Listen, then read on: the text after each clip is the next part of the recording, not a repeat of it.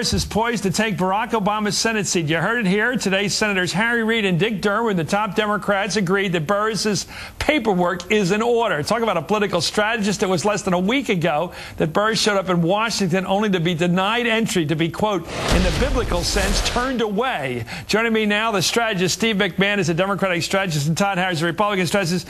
You guys had more fun with this, Republicans. Yes, Why did you guys become the amen chorus for Roland Burris? Why did you love this one? Because because for the same reason that Harry Reid didn't want him in the Senate, because we see Roland Burris as a number one target in two years in a ah. in a state in a race. Because we think we can beat him. The, the reason Harry Reid. Oh, you think he'll be the nominee next time? If he, yeah, I mean, he'll be the, he'll be the incumbent. Who's going to tell him? He, who's going to tell him he can't run? Oh, no, but, no, you know, even if it becomes a bloody primary, the reason why Harry Reid didn't want him in the Senate was because he felt that he wasn't electable in the downstate part of Illinois. And oh, really? That's I don't know how to read minds. What do you think?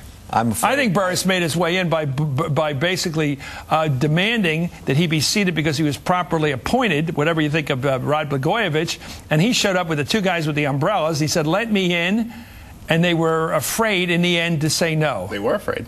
You're right. You're absolutely right. That's what happened. And the ironic thing, and we talked about this last week, is that after 50 or so United States senators, Democratic senators, said that Blagojevich's pick will not be seated that person would not have been seated had it not been for the fact that he was an African American. You think so? I'm glad he was able to run home over the weekend and get his papers in order. No, he got so uh, that, he got uh, Jesse White, the Jesse Secretary White of State, to signed, finally sign a document. Signed a document, not the document originally that the Senate was looking for.